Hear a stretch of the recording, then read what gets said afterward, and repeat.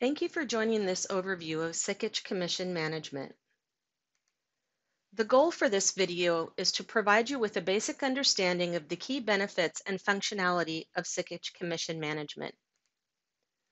Many of the capabilities in commission management are delivered through configuration options. This includes the ability to base the commission on the invoice sales or profit amount. If commissions are based on profit, there is an additional option to generate automatic commission adjustments when the item cost changes. Examples of item cost changes include item charges for freight or other after-the-fact costs and cost differences between a purchase receipt and the matched purchase invoice.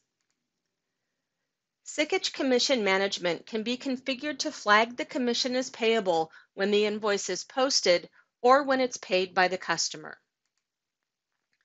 If payable upon sale is not selected, commissions can be flagged to pay on a partial payment. Commissions will be generated based on the amount of the cash receipt until the full invoice is paid. Multiple salespeople can be assigned to a customer. We can see that Peter is the primary salesperson for Alpine Ski House.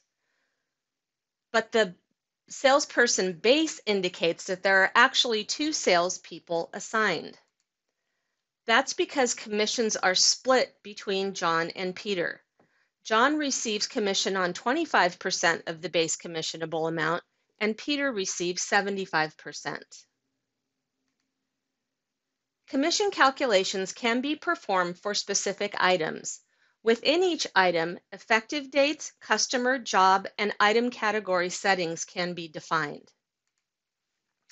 In this example, Peter receives 5% commission, except when he sells a black Paris guest chair to customer 40,000, Alpine Ski House, between July and September. Let's take a look at a sample commission calculation.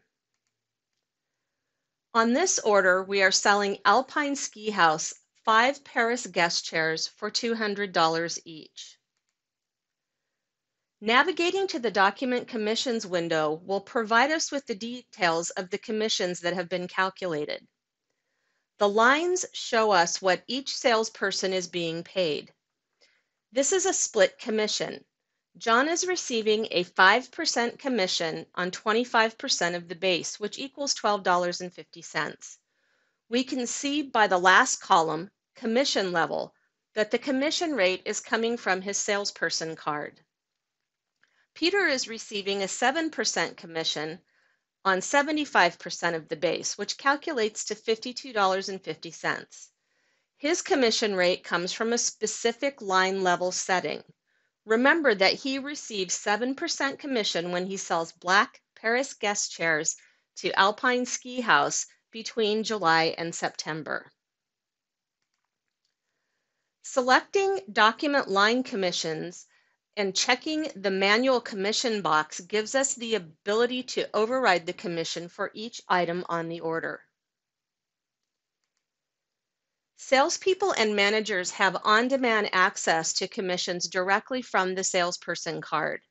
We can see the outstanding commissions, the total commissions currently due to be paid, and the total commission possible for the salesperson. Drilling in on any category brings up the related commission ledger entries and follows standard navigate functionality. Statistics are also provided to summarize the commission activity for the salesperson. Thank you for taking the time to review Sikich Commission Management. Please contact us for more information.